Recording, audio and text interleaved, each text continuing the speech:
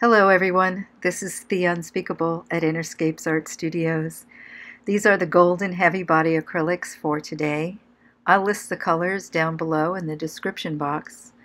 I painted this over a year ago and it was on my desktop so I thought well it might be time to post it here.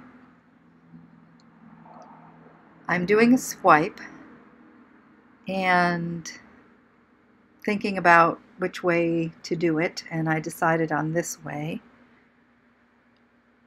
And it's your basic swipe. There is no silicone in this paint at all and it was so long ago that I don't quite remember the medium but it was probably some mixture of Floetrol, gloss medium, and the paint with a little water.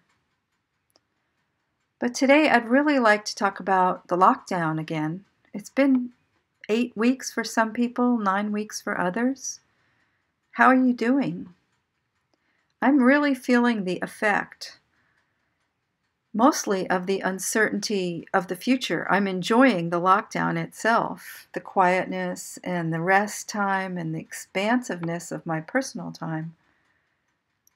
But there is some uh, contraction around finances and making a living and survival going forward.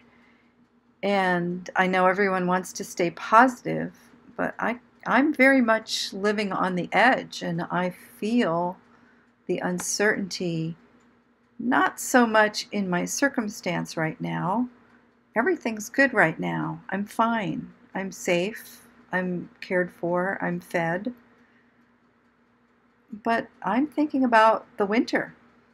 And, you know, that's six months away. A lot can happen, but also a lot cannot happen. so, as I feel this constriction in my body, I listen to other people on um, the computer and what everyone has to say about how we're all in this together. And I'm wondering how the constriction hits other people.